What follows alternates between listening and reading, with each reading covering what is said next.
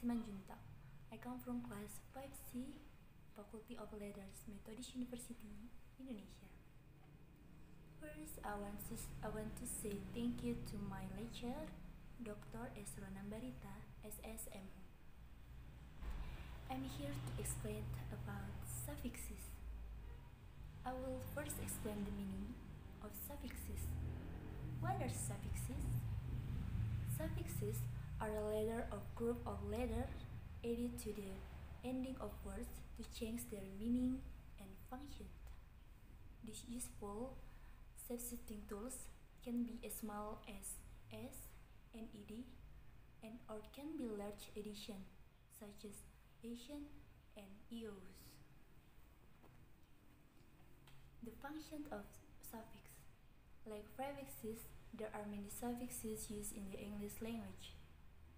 Create a rich vocabulary, these suffixes change the meaning or grammatical function of a base word or root word. For example, by adding the suffixes er and s to the adjective font, you create the comparative fonder and the superlative confundus like the suffix is. By adding this to a word you have changed the word to describe a person who performs or practices something. So, art becomes artist, a person skilled in a particular art. And let's look at the verb read. This verb can be turned into a noun by adding the suffix er, and so read becomes reader. Likewise, by adding the suffix able, the verb read now becomes the adjective readable. Okay, examples of suffixes. Some of the most common suffixes and their meanings are as follows. First, noun suffixes such as er, nest, and ship.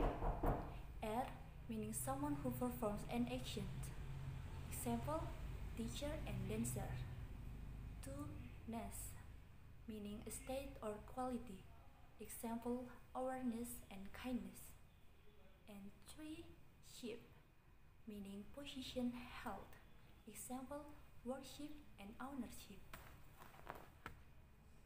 Two, adjective suffixes, such as if, full, and use or use First, if meaning quality or nature of.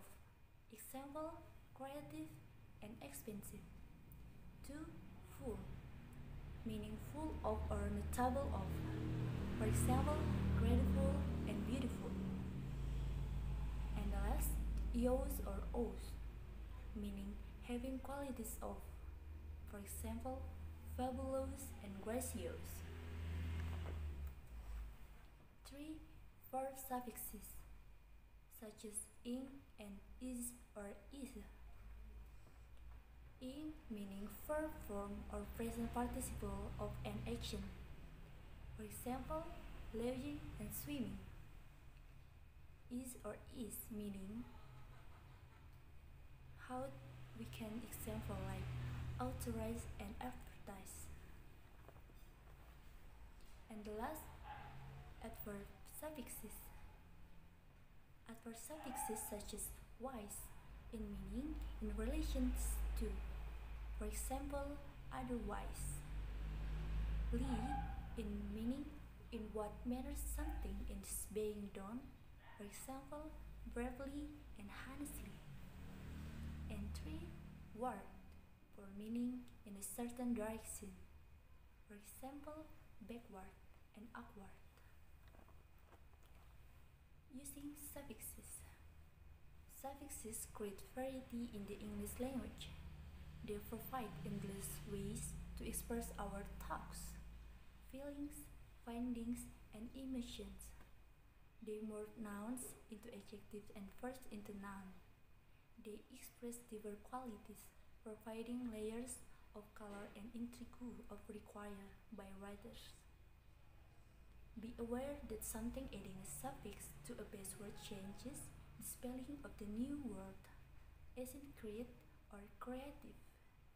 To help you learn why and when this happens, read suffix spelling rules. Okay, so my explanation about the suffixes hopefully useful and thank you for watching.